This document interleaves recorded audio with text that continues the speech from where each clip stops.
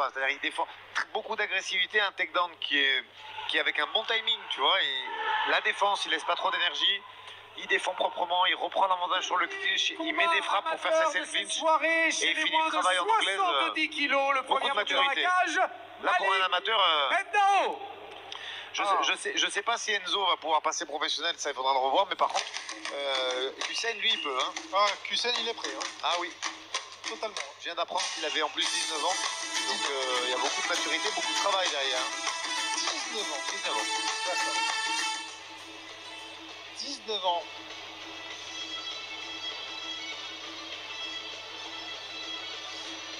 Alors que Malik Bendao a été annoncé. Mais bon, il y avait du bon monde dans son coin. Je connaissais pas l'équipe, mais il y avait quand même Cédric Sévérac. dans son coin.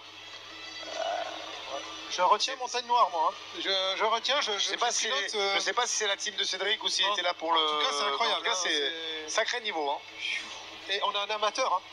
C'est. c'est, euh, Ah mais lui, lui, je te dis de suite, il, combat, il peut combattre en pro. Hein. C'est là par contre, euh, même si ça a duré qu'une minute trente, je, je, y a aucun souci là-dessus.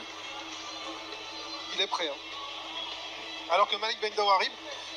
Malik Bendao, ben, on l'avait vu aussi également. C'était euh, le 5 mars. C'était euh, à Cannes, hein, c'est ça. Hein. C'était à Cannes, l'événement de Cannes de l'AFC.